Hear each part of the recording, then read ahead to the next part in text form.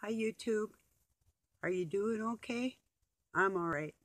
I had a major headache when I woke up. I'm just on here telling you what's going on today. Not much. I I seem to do a lot of writing. I got a lot done like that. And um, I don't know if you've ever uh, taken. I took a stalk of celery that I chopped up and used, and then froze some. But you can take a little bit down by the root and put it in your garden and it's supposed to regrow a whole nother stock without having to use the seeds. So I just stuck it in a pot of dirt that I have outside. So I'm going to see how that does. And then transplanted some plants into bigger pots. And yeah, like I said, I did a lot of writing too, but I had the weirdest dream. I literally woke up with the birds, but my dream was that there was these cutest little birds in my window, like little um uh blue ones about like yay big, just tiny, you know, no bigger than a like a dragonfly. And some of them were itty bitty like little sparrows, but they were mixed in with a bunch of flies and I woke up in my dream or nightmare I was swatting the flies because some of the flies were about as big as some of the tiny birds. So I woke up trying to miss all the birds as I was trying to get the flies out of the window. It's like, it was freaking crazy. And I literally woke up looking at my window, um, worried for the birds. so yeah, it was, but that might have had a lot to do with, um, excuse me a minute a day before yesterday, I had a mourning dove hit the house. It miscalculated, and um, I don't know if it's because of old age or if it was young or who, God knows what. But I was worried for them, and I knew there was a pair in the yard and sometimes more, but um, there was four of them yesterday, so I'm a, and they showed themselves all to me which was really good because I had only seen one like the day after it happened. So um, I was happy to see four of them. So yeah, because you know you get to know them and they're like your friends, and I put out food and they they appreciate it. So yeah, they're my friends. All the animals in my yard. So yeah, but so I don't know, not a whole lot going on today. I got that silly song stuck in my head. In fact, last week when I was telling Doug about it, um, I said, uh, I know a Robin song that Steve could have sang, and then I said, um, sang part of it to him. I go, Do you remember that? And he's like, Yeah, that's an old one. Well, neither one of us were even born when it was made, you know, so. But uh, yeah, so singing it this morning got that stuck in my head. so anyway, but yeah, I I um had a robin in my room when I was a kid. It had a broken wing, and I kept it all winter long and took care of it, and then let it go. And it was really kind of mad at me when I took it back right to where I got it from too. About a half a block away from where I grew up, by a big oak tree, and looked back at me like real snotty, like, yeah, I don't like you anymore either, you know, really. And I go, well, just fly, see if you're going to do it or not. And he flew up onto a limb and he looked at me really snotty again and then took off. And I thought, well, that's gratitude for you, you little creep, you know. But it was good. Good thing. Because if he got too used to people too, then somebody like with a cat or a dog might be able to get him or, you know, stuff like that. So I try not to get too close to the animals. I used to call chickmunks. I've got pictures of them coming up and eating right out of my hand. They climb right up on it. But um, my stepdaughter took some pictures of ones I called um, Chip Monkey, Peanut, and Chipper and they'd all come up on the steps and eat right out of my hand. But see, they carry fleas too and different diseases, so you really don't want all them little animals around. So, yeah. But, you know, with my other animals, um, right out in the same area, it's better to have them further away from your house than close to it. So, yeah. But, so that's really about it. What's going on today? I don't know. Maybe I'll think of more to talk about, but yeah.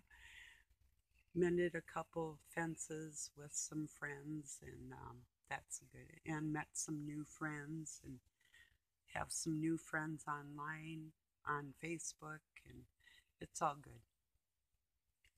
Um, let's see what else is going on. I think a lot of my headache was I stayed up really late, um, and then uh, watching videos, and then got up sort of early, and also I ate peanut butter, and I shouldn't have but I had it on my sourdough bread, my toast. So tonight it's definitely steak and salad. So that's two things I can, well, depending on what's in the salad, but yeah, they're, they're basically kind of safe. so, yeah. Anyway. Oh. I don't know. I actually haven't uh, watched a lot of like media or anything. Oh, that one news station online I was trying to think of was um, One America Network. O A N. And they just straight up give you the news like no baloney, no talk show business like um like um what Oprah did today, who gives a flip, you know, um, that type of thing. It's like, no, just the news. If you, and so I see the headlines coming through on my feed, and that's, you know, usually good enough. And then if there's something that I'm interested in, I can click on it, you know, or not. Take it or leave it, you know, so. Yeah. Do any of you out there like to sing? I bet everybody does, huh? Most people? I don't know. I know a couple people that don't like to dance or sing or, you know, and then I know some people that like to sing but not dance. I don't know, I just love music. I love playing it. I love hearing it. Although when I wasn't feeling good, I did go through my moments where I really didn't want to hear any of it.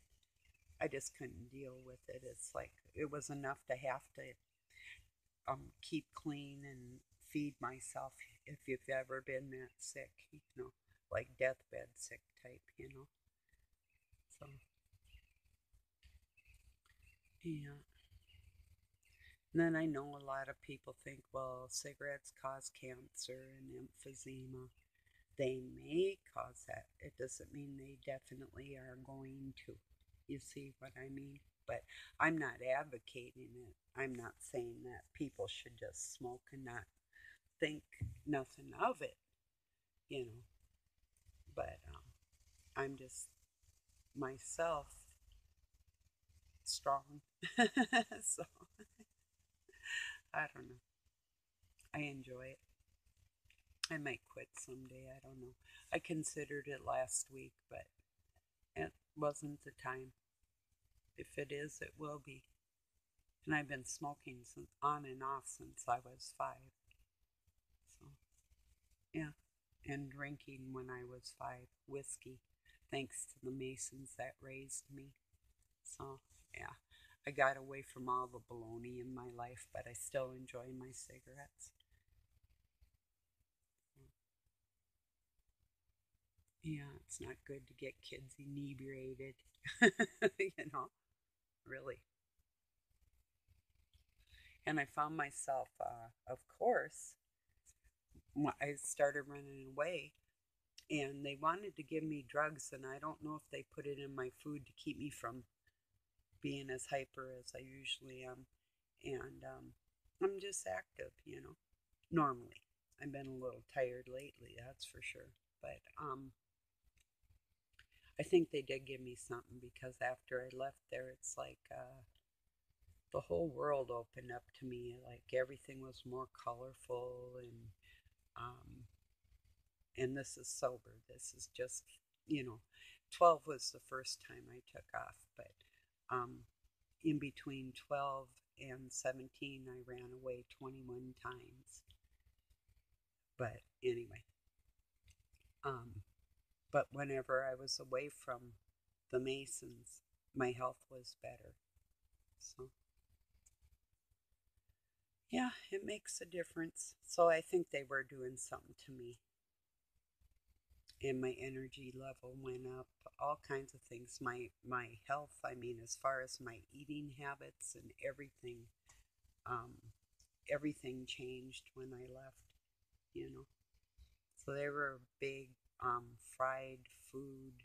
Oh, gross. I still, the memories of it. In fact, going past one or being with people eating french fries used to make me ill. Now I like them, or potato chips, that type of thing. But I didn't know I was allergic to potatoes. That might have had something to do with it too. But I crave them now every once in a while. But once a year, I get in a potato mood, like um, like I've been thinking scalloped potatoes, you know, are, they're good. You know, our au gratin or something like that. So, but in fact, I like mashed potatoes a real lot. but anyway, back to the fried foods. Um, I like fried chicken, but I'd rather have it roasted if it's a real good roasted chicken. So, yeah.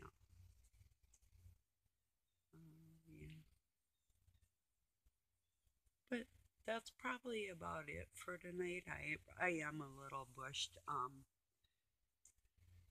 I need to get get um supper done earlier tonight than I usually do. It's usually after dark, which isn't usually a big deal, but I want to get some sleep. As you can see, I I need it. I look like a raccoon, but um, I'm not one for makeup. I am what I am. Whatever, you know. I used to wear it. I just don't, you know. I think to me, um, just personally, I think it's disgusting when older women put all that gob crap on and dye their hair and all that. It's like, ew, whatever. I'm a grandma. It doesn't matter. I don't need to look like I'm 20 because I don't want to act like I'm 20. I just want to get this life sentence over with, you know. so, okay, everybody, thank you for joining me. I hope you have a wonderful evening, night, day, wherever you're at. And um, thanks again. Peace and love from Pine City, Minnesota, USA.